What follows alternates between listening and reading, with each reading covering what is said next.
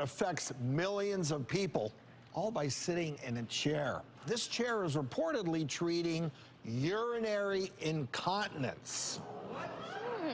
Urogynecologist Dr. Red Alinsod joins us to explain with his guests, Kitty and Nancy, exactly what's going on. So, Dr. Alinsod, number one, does this really work and how the heck is it working? Well, this is a revolu revolutionary procedure that really does work and help patients. It's an FDA-approved device that uses electromagnetic waves and focuses it onto the woman's pelvis and gives over 12,000 contractions in about 28 minutes. So, Doc, you're talking about 12,000 Kegels? 12,000 Kegel exercise contractions, but much harder than you can physically do on your own. And how long would that take, ladies? Yes. Right? Yeah. I think that's a, that's, that's, a, that's a lifetime of Kegels, right. I think. It is, but I'm just wondering, ladies, how does this feel? Because I imagine it must be pretty intense to sit there no, and have feels, that many It feels really good. It feels almost like an orgasm. It's, uh, Whoa! Girl, you are winning.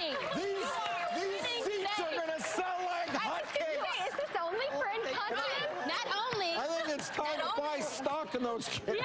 Yeah, I know, right? Should. Women, women are gonna come to you and like, I don't have, I, I don't have incontinence, but um, but I heard you have this chair that does something else too as a side effect. I would like to sit on the chair, please. But, but Dr. Alinsod, uh, this is a very serious issue. So that being said, I mean, a lot of women suffer from this. Explain to us how it helps. Well, what this does is it focuses that energy.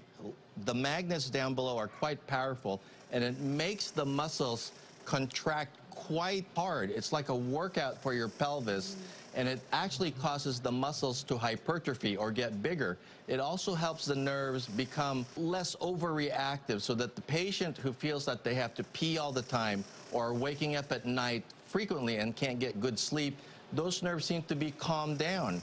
Also, it strengthens the muscle strong enough so that you can contract and control that accident, that urine that keeps leaking out when you cough, you sneeze, you jump. It strengthens and helps the nerves, both at the same time. All right, so Nancy, you, you've actually completed your six sessions. That happened several months ago. So today you're getting a little bit of a maintenance session, correct? Yes, I am. I feel so much better. I have way less more accidents. My confidence has boosted up. This worked for me. And Kitty, you gave us a little bit of an idea how, how this feels for you. But, but that being said, I mean, is this something that you would want to continue? And yes, um, most definitely. My incontinence. That was a strong yes. A real question? Is that a real question? Yeah, yeah, yeah. so, Nita, such, a, such so many women. It's so many women. So urinary incontinence impacts 200 million people worldwide. So really, really common. Even some people in the audience are saying, yes, yes, me too, me too. And when we look at incontinence, you know, there are a number of different causes pregnancy, childbirth, menopause, obesity. We know that, that, as people age, the prevalence and also the severity of incontinence will increase.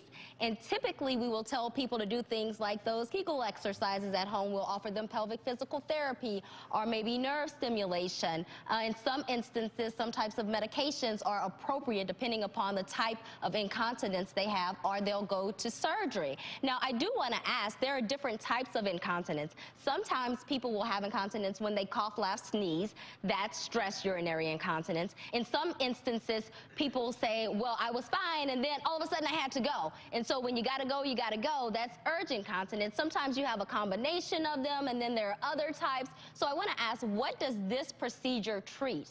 Any specific type of incontinence, or like who's an ideal candidate? I have the combination. I did too.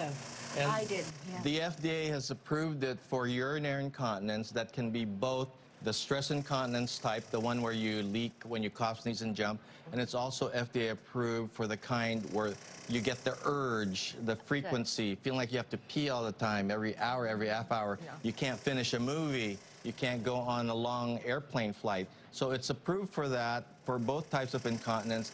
And it also does help those people who don't have that sensation to pee and their bladder gets overfull. Mm-hmm. That's called overflow incontinence, and it helps those type of patients too. So this we affectionately call the pee-pee chair because it will help those with pee-pee problems. So, Well- Dr. Alinsod, I'm just curious, is this procedure covered by insurance? Unfortunately, not at this time. It's not covered by the insurance. The average payment per session is between two and three hundred dollars approximately, and it's affordable enough for the patient to have a three-week treatment. You need one treatment twice a week, so that's two times a week for three weeks, and touch-ups every three or four months. If you get pelvic floor physical therapy, that's usually about a 12-week course. So this cuts it down dramatically to a three-week session, and it helps the patient in a shorter amount of time. And I, I do love that you said it's FDA approved. I also really like that you're hitting three big categories when it comes to types of incontinence.